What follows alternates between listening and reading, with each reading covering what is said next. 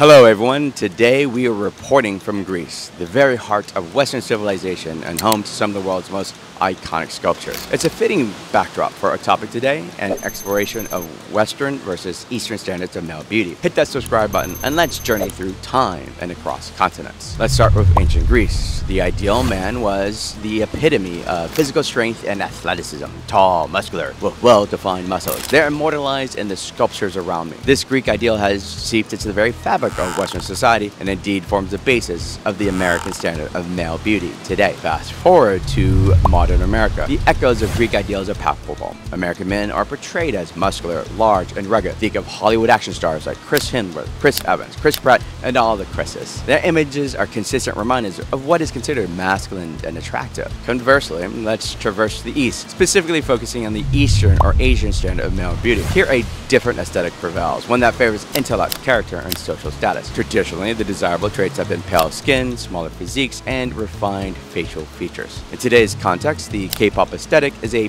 perfect embodiment of these Eastern ideals. Bands like BTS and EXO represent a beauty standard that embraces slender physiques, sharp features, and an emphasis on fashion and skincare. However, here's where we encounter a significant cultural divergence. The K-pop aesthetic so popular in Asia is often not considered as attractive in Western societies, especially in the USA. There are men who adopt a K-pop aesthetic with slender bodies, fashion-forward hairstyles, and meticulous grooming often find themselves at odds with the American preference for ruggedness, size, and muscularity. This discrepancy has a profound impact on Asian immigrants in America. They find themselves having to navigate these contrasting beauty standards, often facing prejudice and stereotypes due to differing aesthetic ideals. This can lead to a challenging struggle with self-identity and self-esteem. It's important to realize that these standards of beauty are deeply rooted in our cultural norms that are taught and vary dramatically around the world. In the West, the emphasis on physical strength and size can be traced back to Greek ideals of civic virtue and valor. In the East, the focus on intellect and character has historical roots in social hierarchy and scholarly prestige. So if you're an Asian man watching this and feel constrained by the Eurocentric standard of beauty, know that you are not alone and that there are more forms of valid masculine sexuality than just America. Be sexy because you're an Asian man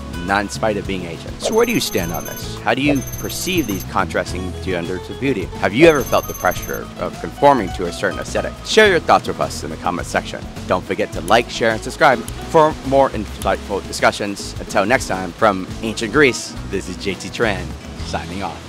Thanks for watching our video. I hope you liked it. And make sure you guys subscribe to this channel and watch all our other videos. Great news too. Every Monday, we'll be putting out a new weekly video. That's right, we've got educational seminars, street interviews, uh, fun infield pickup videos, and anything else we can come up with that's fun for you guys to watch. So check back.